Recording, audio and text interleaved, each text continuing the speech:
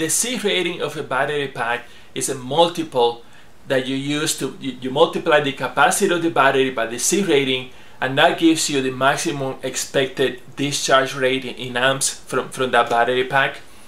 And um, if you have a battery pack in an airplane and it doesn't give you quite the, the discharge rate that, that, you, that you hope for, that you need, uh, the obvious solution is to buy another battery pack with the same capacity that has a higher C rating. So the original, original one had a C rating of, of 20. You can go to 30 or, or, or 40. And, and that will work fine. The problem is that when you go to a, a higher C rating from like 20 to 40, the cost of that battery pack can go up by a lot. You know, it's not proportional. And, you know, you could easily pay 50% more for that doubling in C rating, but of course the capacity hasn't increased.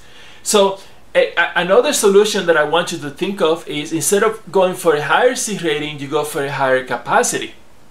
Because again, the, the maximum discharge rate is just the multiple of those two values. So if you double the C rating or double the capacity, you're still going to get a doubling on the on the maximum discharge rate. And and the reason why this might make sense is because those 20C batteries are relatively cheap.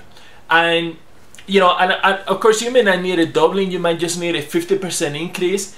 And you know, doubling in the size of the battery, you know, might be an issue with some airplanes, but a 50% increase is probably okay. It's probably not going to be a problem.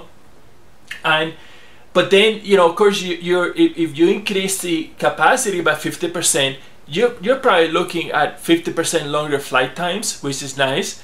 But it's, it's the bang for the buck is going to be much better than if you had increased the C rating by 50%.